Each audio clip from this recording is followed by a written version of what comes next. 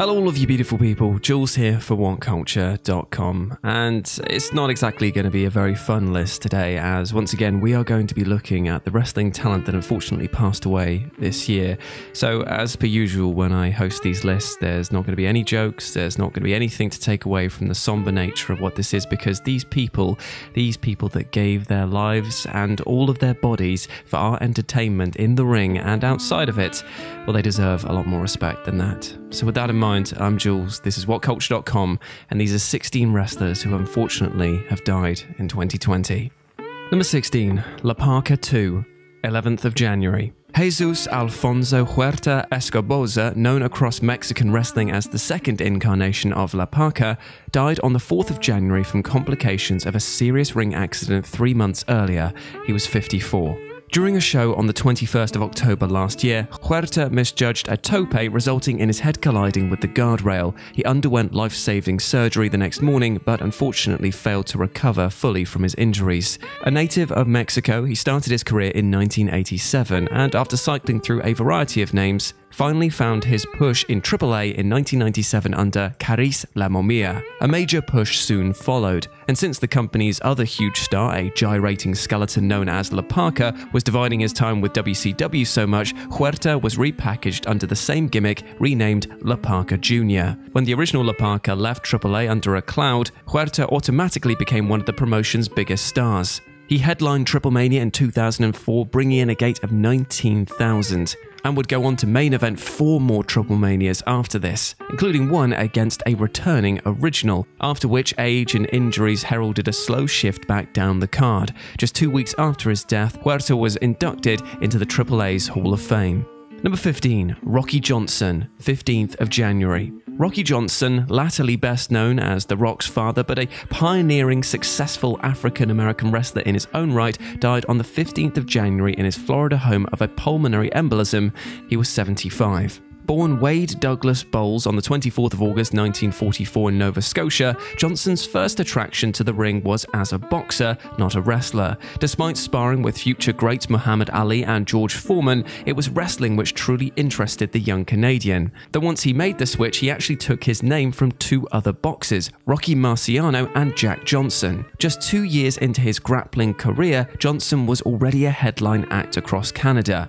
Known for supreme agility in spite of his frame, and one of the business's best dropkicks, Johnson was soon courted by all the brightest lights of the territorial era. He was the biggest act in Roy Shire's big time wrestling, whilst his feud opposite Jerry Lawler rewrote the record books in Tennessee. Johnson's star was undeniable, allowing him to overcome all barriers and break them down for generations to come. He was the first man of his race to hold any title of any description in the WWE, claiming the tag straps alongside Tony Atlas in November 1983. His son, Dwayne The Rock Johnson, would latterly become the first man of African American heritage to win the company's top prize. In 2008, Johnson was inducted into WWE's Hall of Fame. His passing provoked an outpouring of tributes from across the length and breadth of the business, and Vince McMahon was amongst those at his funeral. Number 14, Dr. Hannibal, 18th of January 2020. Canadian Steve Gillespie, a journeyman who appeared in his home country, WWF and Japan, most prominently went under the name of Dr. Hannibal and died on the 18th of January 2020 of a heart attack. He was 56. Hailing from Calgary, Gillespie trained under the wing of British legend Les Thornton, working his way across the country's independence before finally alighting in the Canadian promised land of Stampede in 1989, only for Stu Hart's outfit to close down just four months later. Gillespie continued to work around the territories north of the border before the WWE enlisted him for enhancement positions whilst taping a series of shows throughout the country.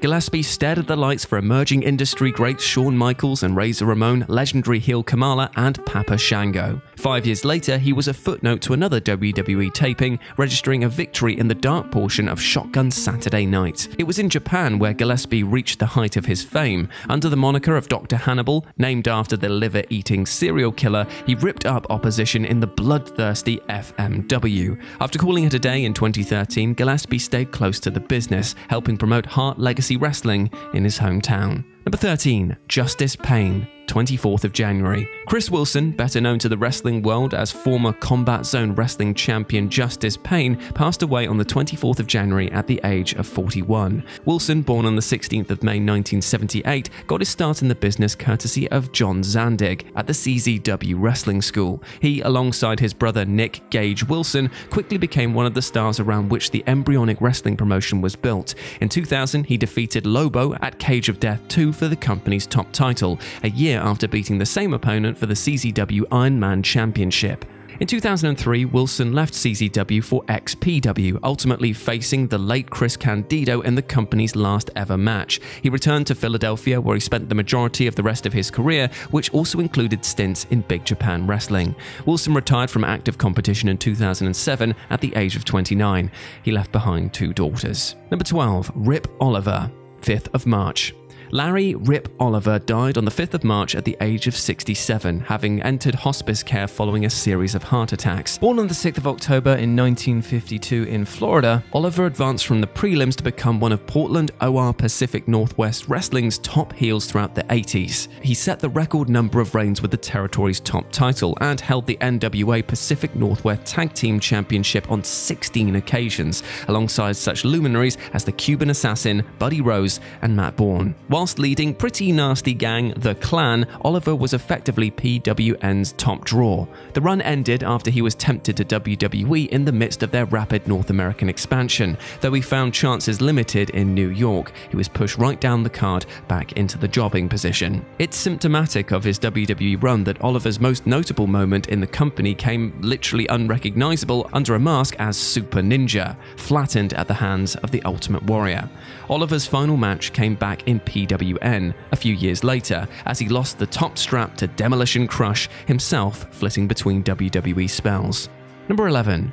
Howard Finkel, 16th of April. Howard Finkel, the voice of millions of wrestling fans' childhoods the world over and the absolute best at what he did, died on the 16th of April after battling multiple health complications. He was 69. Born in 1950 in Newark, New Jersey, Finkel was an ardent fan of the Northeast wrestling scene and famously became one of Vincent J. McMahon's first permanent hires. Brought in as a Madison Square Garden MC for the then WWWF in 1975, he quickly distinguished himself through his flawless delivery, rising to become the company's senior announcer. For the next three decades, Finkel was a guaranteed fixture of all of the promotion's major events, including the very first WrestleMania, whose name he actually devised, until he was inexplicably phased out for the younger Lillian Garcia.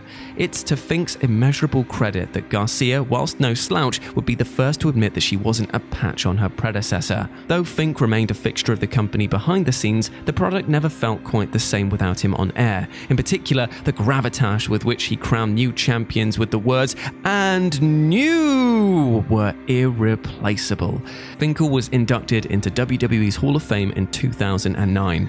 His legacy will likely never be surpassed. Number 10, Winona Littleheart, 9th of May. Winifred Winona Littleheart Childry, a member of the Fabulous Moolah's collection of lady wrestlers, best known for her Native American gimmick, died on the 9th of May. She was 64 years old. The stepdaughter of wrestler Dick Barkley, Childry was raised in the business, making her debut at the age of just 20 in 1976. She soon made a name for herself across the bulk of the NWA's most notable territories as the fringe vested, feather bedecked Native American Winona Littleheart. Format. It was whilst competing in the WWWF in the late 70s that Childry hooked up with the women's wrestling power broker Fabulous Moolah, becoming part of her stable and even training a certain Wendi Richter, arguably Moolah's most infamous opponent. During her spell in New York, Childry unsuccessfully challenged for the WWF women's title. After leaving the WWF, Childry resumed her career in the NWA's remaining territories, first under the guise of Cindy Lou and then as Kevin Sullivan abductee The Lock.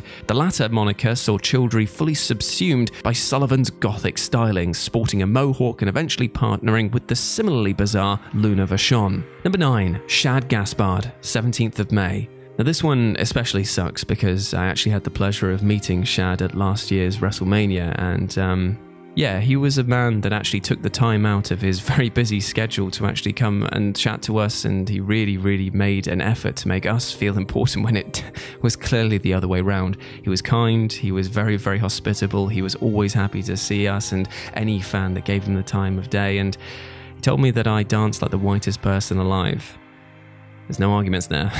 Several days after being swept out to sea in Venice Beach, California, Shad Gaspard's body was recovered by the Coast Guard, confirming fears of his tragic passing at the age of just 39. Through his final actions in life, though, Gaspar died a hero. While swimming with his son, the pair were caught in a sudden undertow. When lifeguards came to Shad's rescue, the former wrestler instead directed them to his 10 year old son, who was swiftly dragged back to shore. When rescuers returned for Shad, though, it was too late.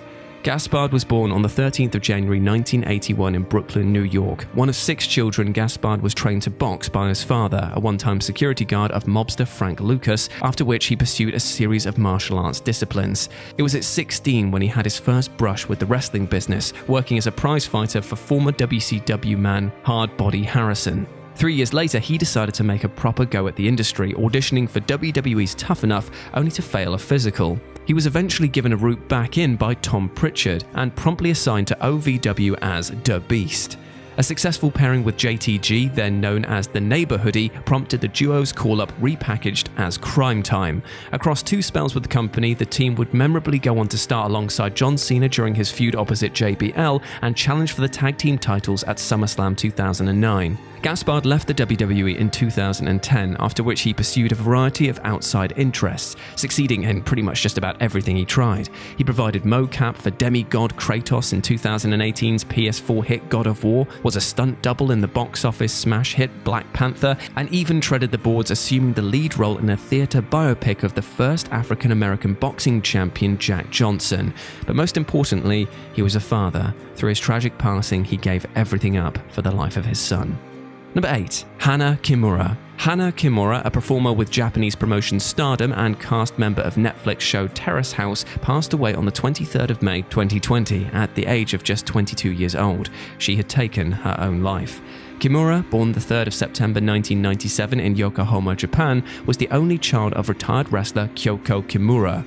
She was soon following in her mother's footsteps, claiming her first championship at the age of just eight, that being the DDT's light-hearted Iron Man heavy metal weight strap. After graduating from Wrestle One's training academy, Kimura made her professional debut at the age of 18, opposite classmate Reika Saiki. For the next three years, she'd split her time between Keiji Muto's group and World Wonder Ring Stardom, memorably defeating her mother during the latter's retirement show in 2017. In March 2019, Kimura became a permanent fixture for Stardom, where she twice won the Artist of Stardom Championship and the Goddess of Stardom Championship.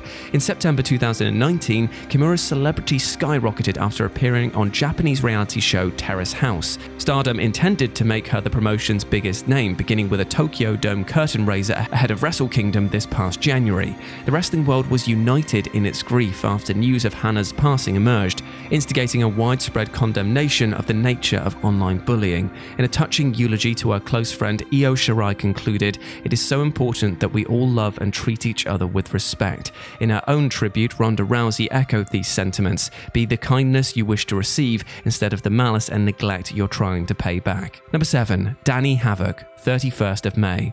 Independent wrestler Grant Berkland, known most notably in CZW and Game Changer Wrestling as Danny Havoc, died on the 31st of May, less than two months after the death of his wife Brianne. He was just 34. Born the 19th of May 1986, Berkland grew up wrestling with his friends in this family barn, and a life in the industry was always in his sights. He made his in ring debut in 2005 as part of Combat Zone Wrestling's Student Battle Royale at Tournament of Death 4. His career started very much as it would go on, he was set on fire during that contest. Over the next 10 years, Berkland, under the alias Danny Havoc, emerged as a major figure within the hardcore scene. As well as claiming multiple championships in CZW, including two Tournament of Death trophies, Berkland spilled blood in Big Japan Wrestling, DDT Pro, WXW, and IWA Mid South. Though he announced his retirement in 2017, in the great tradition of hardcore wrestlers, Berkland re-emerged to join GCW's tour of Japan this February. Number 6. Rollerball Rocco 30th of July. Mark Rollerball Rocco, a legend of the British wrestling scene and New Japan Pro Wrestling's original Black Tiger, died in a care home on the 30th of July at the age of 69. He'd been living with dementia throughout the later stages of his life. Born on the 11th of May in 1951 in Manchester, England, Rocco was a regular on ITV's flagship wrestling show World of Sport, crossing paths with future stars Dynamite Kid and Fit Finlay. as well as mainstays of the domestic industry such as Marty Jones. A three time world heavy middleweight champion, Rocco translated his success across continents, starring in New Japan Pro Wrestling as the original Black Tiger. His electric performances under the hood opposite Satoru Tiger Mask Sayama helped revolutionize the burgeoning junior heavyweight title. Following his death, fellow Brit William Regal composed a touching tribute to the British superstar, writing, There aren't enough words for me to explain how much it means to me to be fortunate to have known him. Number 5. Mitch Ryder, 6th of August. The passing of marvelous Mitch Ryder, a fixture of the North American independent scene since his teenage years, was announced by close friend John Ian Rotten Williams on the 6th of August. He was just 48 years old. New Albany native Ryder got his break in the industry in 1990 under the guise Mitch Bell. He'd briefly appear for WCW in 1992, performing jobbing duties to company stars such as Rick Rude and Mick Foley. Thereafter, Ryder resumed his journey across the Indies before opening his own outfit, XWC Mid Midwest in 2007. In addition to promoting, he also trained a crop of the next generation of stars, amongst them Chris Hero, Lince Dorado, and Drew Gulak. Hero, who performed in WWE as Kassius Ohno, was amongst the first to lead the tributes to Ryder, describing him as one of a kind and an absolute pleasure to watch. Number 4. Kamala, 9th of August. Most wrestlers simply play a gimmick. Others become them. James Kamala Harris was the latter. Though not the greatest technician by any stretch, he was the best damn Kamala that anyone could have been. Harris endured a tough early life before being tempted by the lure of pro wrestling. At four years old, his father was shot dead during a game of dice, and his education ended in his early teens. After several run ins with the law, police advised that he leave town soon after. In a state just awakening from racial segregation, the coded message was pretty clear. Harris swapped Mississippi for Florida before alighting in Michigan, where an encounter with wrestling superstar Bobo Brazil, Harris found moderate success in the southern states, but it wasn't until his turn in Memphis where he'd strike upon success. The Ugandan giant Kamala, an African savage character devised by Jerry Lawler, might seem offensively retrograde by today's standards, but Harris leaned into the gimmick with such zeal that it became impossible to separate the man from the stereotype. In many ways, a tragic figure, fans nevertheless jeered the primitive headhunter without question, as Kamala rose to become one of the most marketable heels in the 1980s. The apex of a run which comprised Memphis, WCCW, and Mid South saw Harris stare down Hulk Hogan for his WWF World Heavyweight Championship. Of course, he never had a chance at winning, but that hardly mattered. There was no better position to be in than opposite WWE's Golden Goose. At least in theory, despite drawing mammoth crowds, Kamala suddenly left the industry over a pay dispute in 1987. He returned five years later, but this time as a kind of monster jobber for hire against the foreboding Undertaker. He was stalked out of Wembley Stadium by the dead man before 92,000 fans at SummerSlam 92, and put away in the company's first ever casket match a few months later. That closed the lid, as it were, on Kamala's top run as a heel. A stint in Kevin Sullivan's Dungeon of Doom in WCW followed, another body for Hulk Hogan to beat basically, after which his career wound down. Harris's later life was dogged by health issues. In 2011, his leg was amputated below the knee as a result of high blood pressure and diabetes. A year later, surgeons took his other leg. Despite a career which reached the very heights of the industry, the ailing Harris was left reliant on a disability check. In early August, he contracted COVID 19 during one of his weekly dialysis treatments and passed away a few days later following a cardiac arrest. He was 70 years old. Number 3. Xavier. 16th of August. The list of former Ring of Honor champions reads like a who's who of the industry over the past 10 years. The company's second ever title holder, Johnny Xavier Bedoya, is something of an anomaly, though. He'd never reached the same mainstream heights as his peers, but his contribution to Ring of Honor nevertheless helped create a platform from which they could launch. Born the 28th of December 1977 in Queens, Xavier worked the New York City independent scene before bagging a prelim role in the WWE. Though he'd made a number of appearances on the company's C show as an occasional extra, it wasn't until the birth of Ring of Honor that he made his name. Featuring in the novel Upstart Promotions' first ever show, the Ring of Honor original was soon rewarded with a run with the belt, defeating Low Ki for the honor. He held the strap for five months before dropping it to the emerging brute Samoa Joe. Xavier's Ring of Honor appearances were sporadic thereafter, and he retired from the industry in 2016. He was set for a Ring of Honor comeback this year, only for the event to be scrapped due to the coronavirus pandemic. On the 16th of August, news of his death was announced, he was just 43. Number 2. Bob Armstrong, 27th of August. Bullet Bob Armstrong, scion of the famed Armstrong family and an NWA star for nearly three decades, died on the 27th of August following a battle with cancer. He was 80. Born Joseph James on the 3rd of October 1939, Armstrong completed a full tour of duty with the US Marine Corps before spending seven years braving danger as part of the Cobb County Fire Department. That degree of brawn made him an ideal fit for the world of pro wrestling, one that he effortlessly slipped into while still fighting fires in 1960. Proving a popular babyface in the Georgian territories, soon Armstrong's prestige was enough to encourage him to go full time. For the next 28 years, Armstrong was a mainstay of the Southeast scene. He hung up his boots in 1988, though continued to make sporadic appearances thereafter. As popular as Armstrong was, arguably his biggest contribution to the business was the four sons that he sired, all of whom posted lengthy, reputable wrestling careers. Eldest Scott turned out across North America before settling into a WWE referee role. Brad was a bona fide star of the NWA who sadly passed away before his time in 2012. Steve enjoyed spells in New Japan, WWE, and most prominently WCW. And youngest Brian rose to mainstream fame during the Attitude Era as the Road Dogg and today is a producer for the WWE. After his cancer spread, Bob refused treatment. He was preceded in death by wife Vida Gale, who passed away in June. And number one, Rick Drasin, 30th of August. Famed bodybuilder Rick Drasin, who also tried his considerable hand at wrestling and stunt work, died on the 30th of August whilst hospitalized with kidney problems. He was 76 years old. Though the most indelible legacy that he likely leaves behind is his logo design for Gold's Gym, which adorns fitness facilities across the world, Drasin left a mark on every profession he turned to. Hailing from Bakersfield, Drasin was a bodybuilding contemporary of Arnold Schwarzenegger and became the first man to be presented with the Joe Gold Lifetime Achievement Award in the field. As a wrestler, he stomped around rings for the best part of four decades, terrorizing babyfaces on the West Coast as the Equalizer and briefly turning out for the WWE in the 1980s. He also acted, making turns in Ben and Sextette, as well as an uncredited role as a half transformed Incredible Hulk in the eponymous TV series. In 2016, he published his autobiography, The Time of My Life. He was admitted to hospital on the 15th of August with kidney complications that were related to an earlier knee surgery. Until the end of his life, he continued to keep in phenomenal shape, training seven times a week. And there we go, my friends. Those were 16 wrestlers who have unfortunately died in 2020. It would be wrong for me to say I hope you enjoyed this list, but I think you know what I mean when I say it. Uh, it's not been a good year. 2020 has been difficult enough without the passing of these great talents, but I just want to end on a slightly more positive note. It is an incredibly hard thing to lose someone, to go through the grief and pain of not having that person around. And it is unfortunately something we will all have to deal with at some point or another. But I just want you to realize something that just because somebody is not in your life does not mean that they still can't have an impact going forward for the better. It's not about the shadow that they cast, about trying to live up to their expectations, but about the love, support, the lessons that they have taught you, about using them to make your life better. You don't need to live your life in the debt of someone else. You just need to go out there and live the best possible damn life that you can. Make them proud by going out, achieving something great, and trying the best you can to be a loving and compassionate person.